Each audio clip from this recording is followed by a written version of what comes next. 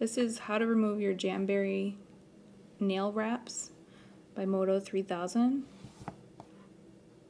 First you want to get some nail polish remover and you put it on your jamberry and then you want to break the seal so you can get in between the wrap and your nail and then just do a side swiping motion. I kind of pull it up here just so I can get underneath it and just get it all the way off.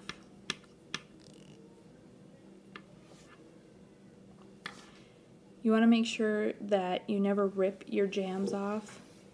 If you've had them on for only a few days, you can use heat and remove them without the nail polish remover. However, if you've had them on any longer than that, you want to use nail polish remover to break the seal and the bond.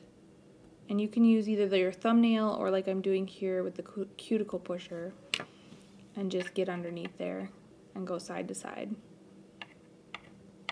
Super easy. The other thing you don't want to do is you don't want to go from the tip of your nail or the bottom of your nail, especially if you were to rip them off, because that can damage your nails and that takes a while to grow out. So take the time. Prep is key to them staying on.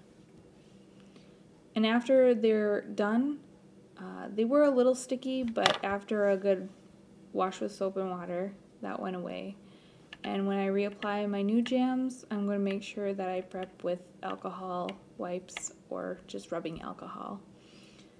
Give it a nice clean surface. And there you go, all done. My nails are even a little stronger too.